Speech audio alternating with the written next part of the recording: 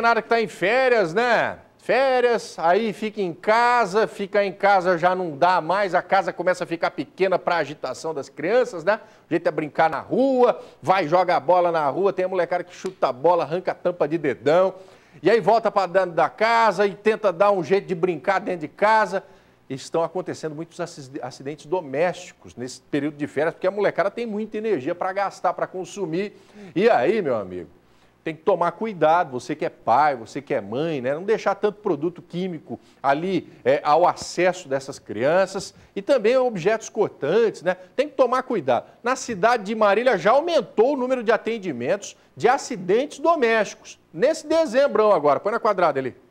Um pequeno descuido e a menina de 12 anos que caminhava sobre o telhado desta casa caiu. A telha não resistiu quebrou e, por sorte, ela caiu em uma bacia de roupa suja que estava embaixo. Mesmo assim, Jéssica está aqui conosco, 12 anos, acabou se machucando nas costas, foi para o hospital, né, Jéssica? Como é que foi que, aconteceu esse acidente?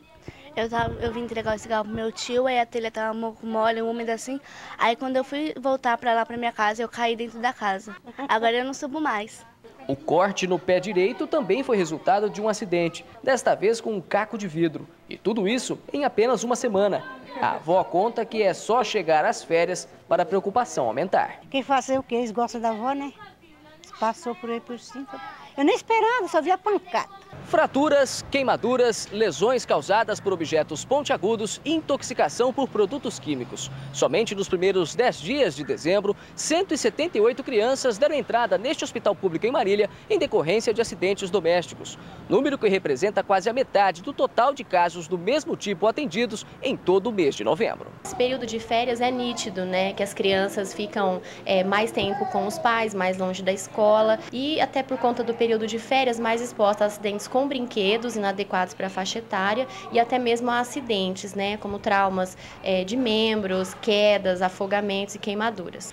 De acordo com os bombeiros, 90% das mortes de crianças dos chamados países de terceiro mundo ou em desenvolvimento, como o Brasil, ocorrem devido a acidentes domésticos. Subtenente, esse é um dado realmente muito alarmante. É um dado alarmante e normalmente ah, os, os, os, acidentes domésticos ele aumenta agora no período de férias, pois as crianças estão expostas aos perigos. Os afogamentos e os sufocamentos estão no topo da lista dos casos mais comuns. A criança não pode ficar sozinha, a criança não pode ficar na cozinha, não pode ter acesso a medicamentos e a substâncias químicas em geral.